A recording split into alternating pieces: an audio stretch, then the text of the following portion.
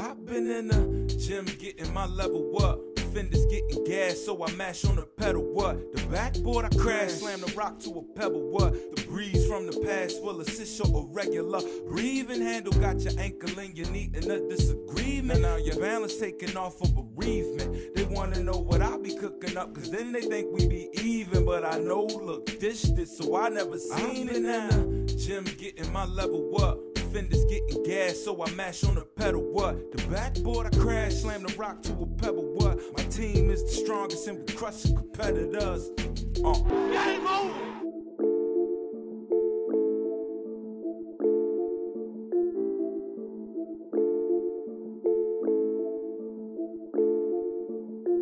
Hey everyone, and welcome to the Fast Break. I'm Tolly Carr from the Atlanta studios. We have a bit of a, a very welcome return, the return of you, the fans, because over the weekend, Greensboro, North Carolina, Club Corbett, it's, it's like always a big thing, man. It's, it's like Scully and Manboy, North Carolina A&T versus North Carolina Central. Things have been a bit subdued this year because of the lack of fans, but they let a few people in to Club Corbett. One of those people are Wally Pitt. He gets in all the time. Uh, Wally, a little different flavor. Uh, Governor Roy Cooper in the state of North Carolina passed an order recently that allowed a, a small return of fans to the venues. Uh, how are things in Greensboro? What, what, what capacity did it, did it feel like? Uh, I think 776 was the exact number. Uh, but what did it feel like for you with some fans in there, North Carolina A&T, North Carolina Central, arch rivals? Man, Tolly, it felt like the real thing. I can't lie. You know, we were all still up on the top bowl, and so I was right by the fans. I ended up pretty much just shooting from the student section, and man, that's 750, 770, whatever. They made it feel like double. I mean, it's the first time in over a year that any sporting event felt like the real thing, man. It was fun to watch, and it just man the the the guys on the court were almost you know the game started off so slow i was like are y'all not used to having fans out there? But man it was fun. All of the aggie prides i got my a in front of my g all of that man. It was live out here and uh, for the first time in a year felt like the real thing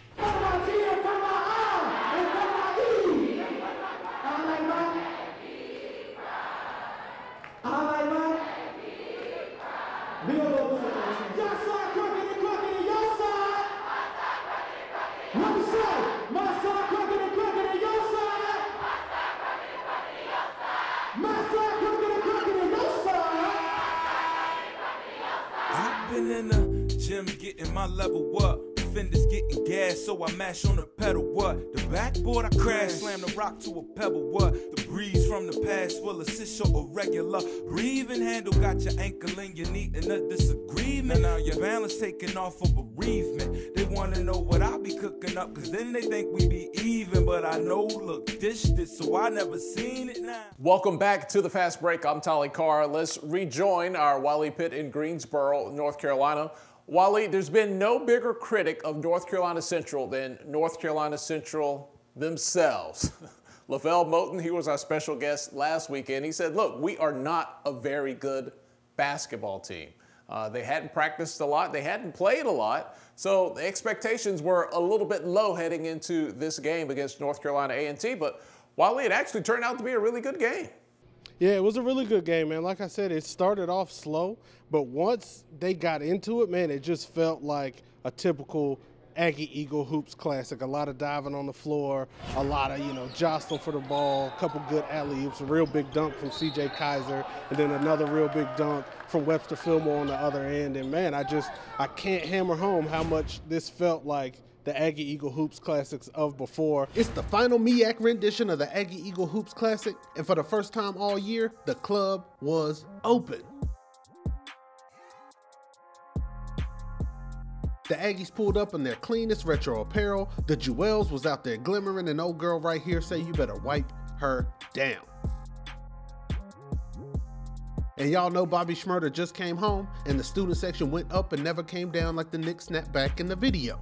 Plus, we get our first look at the latest addition to the Club Corbett Madhouse, my dude Fly Glizzy Ultra Liddy in the hot dog costume. Now, A&T was fresh off a big win in Durham earlier in the week, and one more will wrap up the MEAC Southern Division and give the Aggies pole position heading into the tournament in Norfolk. And for the Eagles, someone had to take home the dub, so why not us? And for the first time in a long time, it felt like HBCU hoops was really back. Now this one was back and forth for the whole 40, but A&T was getting to the buckets early. Cam Langley with the and one. Next is Blizzy Blake Harris from three.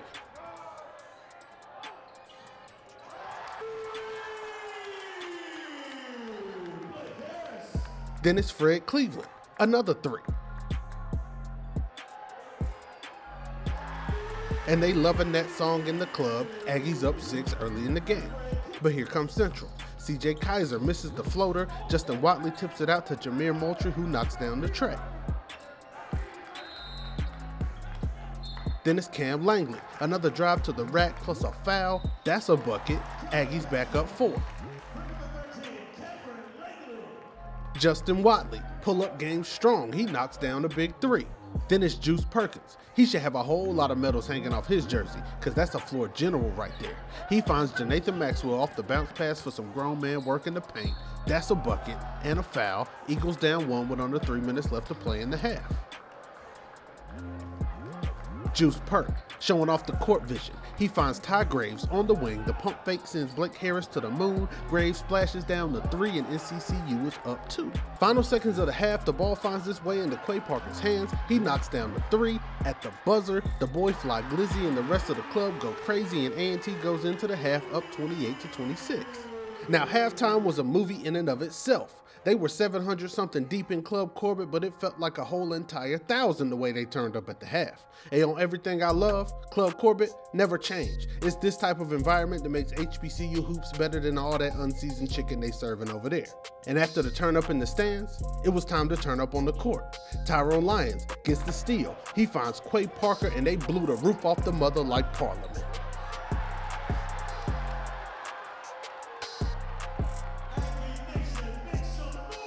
And it's still big Corbett energy on display. Cam Langley pokes the ball free. Ty Lyons gets it right back to Langley, who drives for the up and under that's silkier than one of Hugh Hefner's smoking jackets. Hey yo, Fly Glizzy, show him what he did to him, bro. Aggies pushed the lead to eight early in the second half. But the Eagles not here for it one bit. Justin Watley, he gets the steal and the slam with no emotion at all.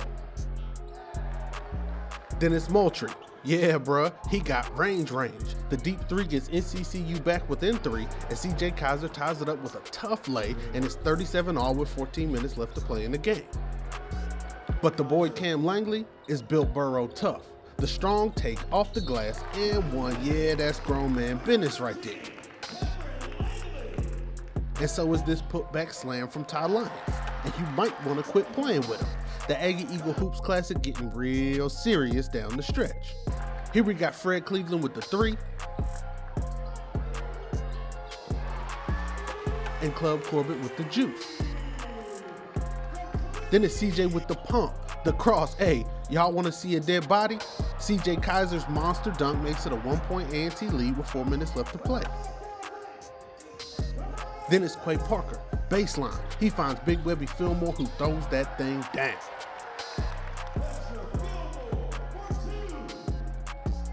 CJ Keyser. Looking for a double homicide, but Big Webby Fillmore says, nah, player. But CJ gets the call, knocks down both free throws, and the Eagles are up one. Quay Parker misses the three. Webster Fillmore gets the board, the big bucket, and A&T is back up one with under two minutes left to play. CJ Keyser looking for the go ahead bucket. He finds Jonathan Maxwell, but Cam Langley in the right place. He draws the charge, and the Aggies get the rock back with 30 seconds left to play. Fly Glizzy getting Club Corbett ready for the crucial possession. Aggies running some clock. The Eagles foul Blake Harris, who makes the first, misses the second. Eagles get the rebound. They head up court. CJ Keyser gets the ball.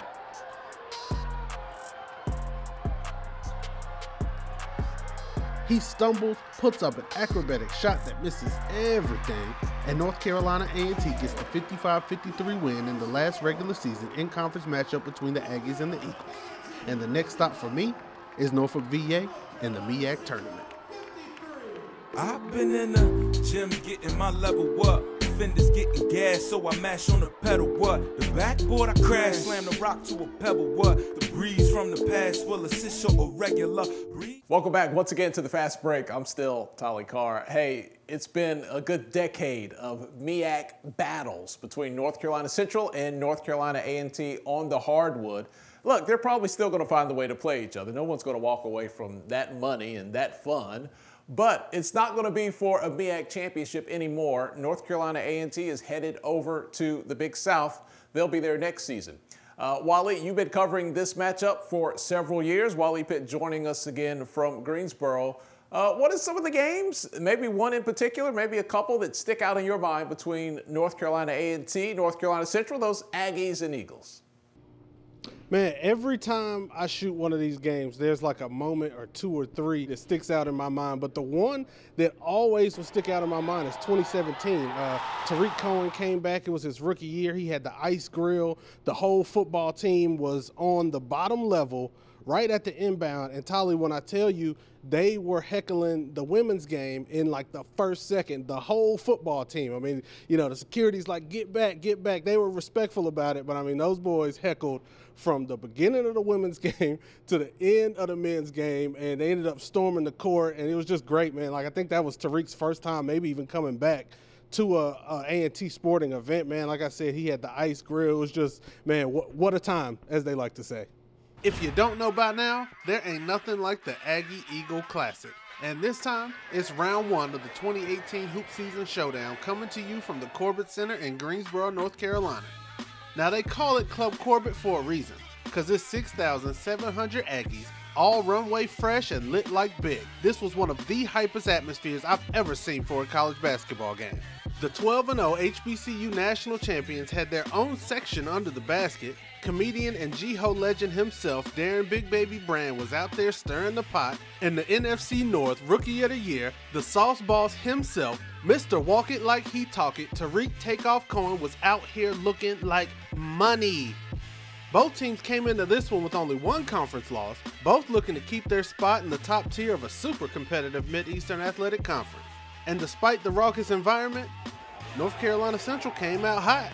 It was the life of Pablo early, as North Carolina Central's Pablo Rivas was an ultra light beam for the Eagles, scoring 11 of his 13 in the first half, including this well orchestrated give and go for the jam. NCCU would lead by as many as 8 in the first half, but the Aggies hopped on the comeback train. They got some big buckets from Femi Olujobi and Cameron Langley to give A&T a two-point lead late in the half. But could it all be so simple for the Eagles? Raekwon Harney with some of that Cuban link ice water in his veins. He takes Denzel Keys off the dribble, pulls up to shoot as he's falling away off the glass at the buzzer.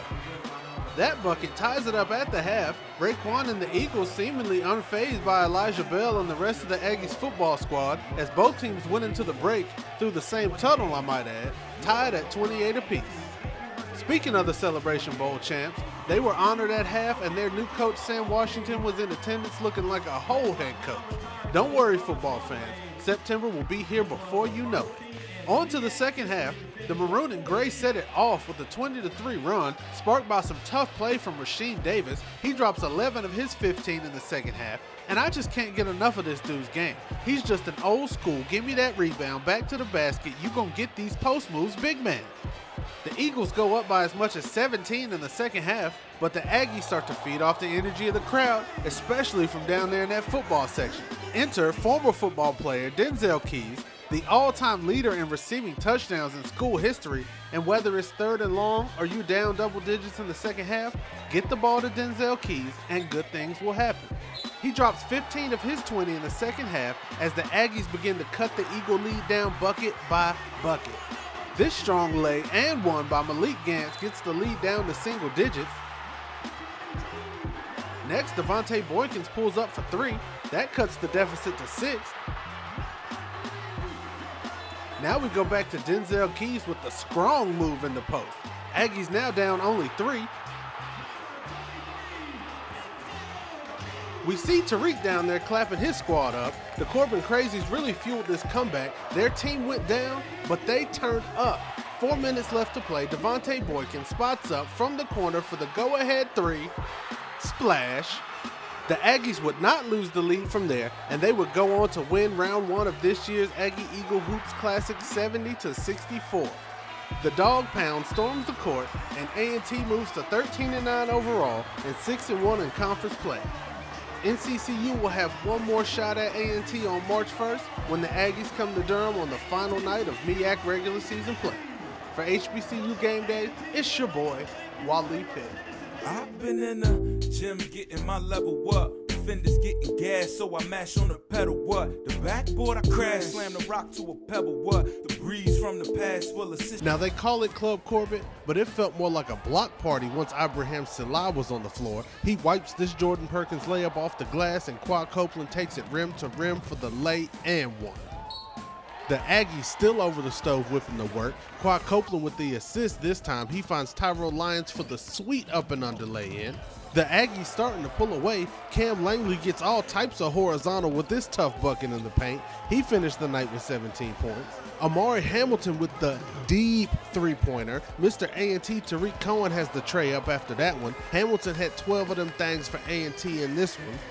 But the real star of the half was A&T's Malik Gantz. He went 6 for 6 with 12 points, and it was fresh lay after fresh lay after fresh lay. This one here was an and one.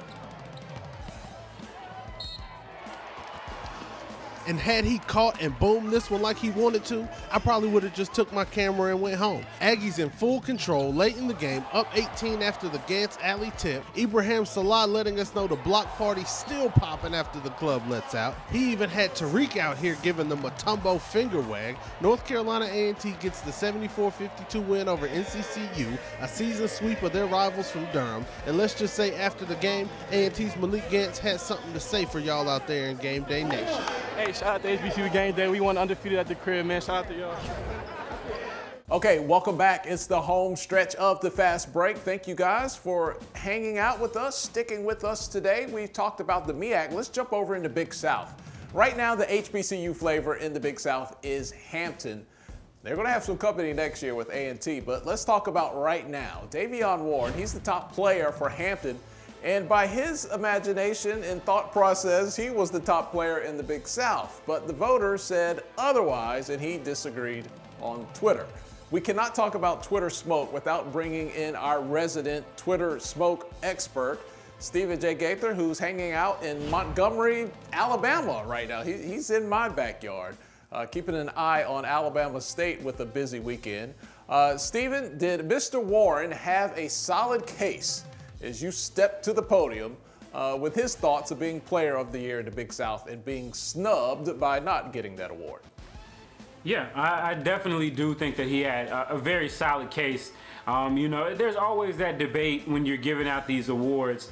Um, do you go? Does it go to the guy who is the best player on the best team, uh, which is what it looks like the Big South decided that they wanted wanted to do with Winthrop being a monster that they are, uh, and then you have the also the case of does the of do they go with the player that does the most has the most impact, even if that team isn't as great, and that in case would be Warren.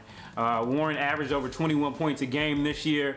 Um, we're talking about Ham Hampton and Winthrop in that Big South. Last year, you know, we went to the championship game and it was great to see Hampton make it there. It was a surprise. And Warren was a guy who was on the team, but he took a back seat like everybody else to uh, the big name players that they had on their team, Jermaine Marrow and otherwise. So this year he's come in, he's had a, a big impact. He, he needed to, they needed a big stepper, as they say, to fill the shoes of Marrow, who uh, was one of the all-time greats there. So he's been that all year.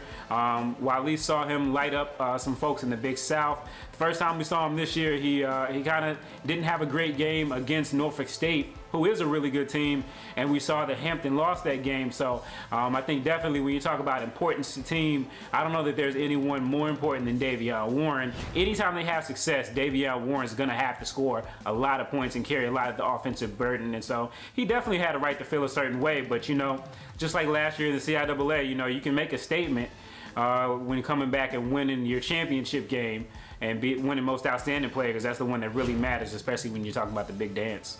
All right, let's continue to defend this and, and, argue it in the court of public opinion. If the video doesn't fit, you must acquit. Let's bring in Wally Pitt. You've seen a lot of Big South action behind the lens of your camera, how would you rate Davion Warren? And in your opinion, Waleed, player of the year or nah? I mean, it's tough. And what I love about this is it brings up that age old debate. I used to say it a lot during the Kobe, Steve Nash era. You know, you've got Chandler Vaudrin from Winthrop. Winthrop's lost one game. They are just smacking people down left and right. And when they're not doing that, they're doing everything they need just to get a win. And I just saw him last week, and man, he's a leader. He averages like 12 points, seven boards, seven assists, right? So you've got the best player on the best team, a team that's out of here doing well. Then you got Davion Warren. He's averaging over 20 points a game. He's like third or fourth um, in the league in steals, averages about six or seven rebounds, like a legit stat line. And so it's kind of that age-old basketball conundrum, you know, um, with Davion and them being the seventh seed. Is the production enough to beat a guy with 12, 7, and 7? Um, when we talked about it in our chat, you know, Steve said he got robbed, and I was kind of like, well, he didn't get robbed because the person who won it was a legit candidate. Um, would I have voted for him? Probably, but you know we biased with the HBCU thing, so they probably shouldn't even give us a vote anyway. But Chandler Vaudrin is a beast. Uh, like Steve said, we saw him in the championship game last year. I saw him the other week, and man, he just like does everything he needs to do to get his team a win. So I mean, um, man, it's that age-old debate. Like, who who do you go with? Do you go with the guy who fills it up, or the guy who does what he needs? But I think you know, if you're if you're basing 12, 7, and 7 and a one-loss record against 21, 6, and two steals and seventh in the conference, you know, that's a toss-up. And the race was close. Uh, I did look at, you know, how many first place votes, and it was close. So I mean, you know, Davion, you're always going to be our player of the year, no doubt. But I will say Chandler Vaudrin, he, he deserved it as well, you know. I, I, love the fact that in one sentence you said conundrum, and in the very next sentence you said Davion and them. hey, that's how we do. Uh, you know, we got to keep it authentic. I, I got the book smarts and the street smarts, you know. we will leave it right there. Thank you guys so much for hanging out with us. HBCU Game Day, the fast break. For Stephen J. Gaither, for Wally Pitt, I'm Tolly Carr. Enjoy your week. We'll talk to you next weekend. I've been in the gym getting my level up. Fenders getting gas, so I'm